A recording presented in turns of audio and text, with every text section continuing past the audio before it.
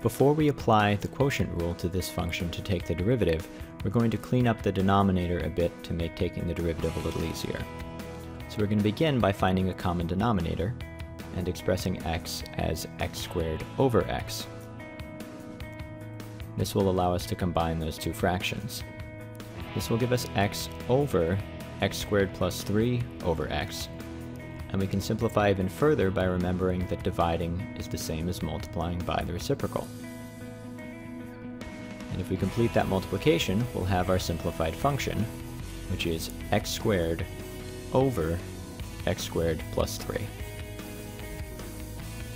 Now the quotient rule tells us that if we have a function that is a quotient, it's made up of a fraction where we have a function in the numerator and a function in the denominator, we can find the derivative of that original function by taking the denominator, the low function, and multiplying it by the derivative of the high function, or the numerator, and then subtracting from that the high function multiplied by the derivative of the low function, all over the lower function squared.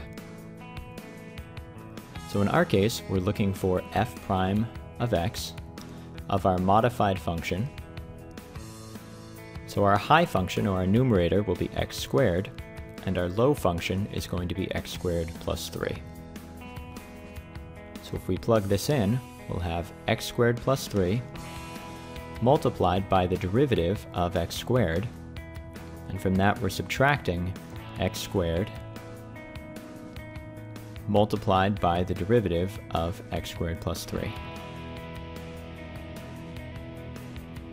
And this is all going to be over x squared plus 3, the quantity, squared.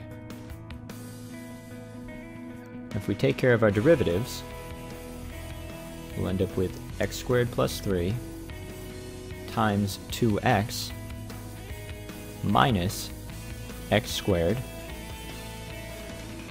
times 2x. This will all be over the quantity x squared plus 3 all squared. We can factor out that 2x because it's being multiplied by both terms in the numerator. And we'll be left with x squared plus 3 minus x squared all over x squared plus 3 the quantity squared. And if we cancel out those two x squareds in the numerator, we'll have our final answer, which is that our derivative is equal to 6x over the quantity x squared plus 3 squared.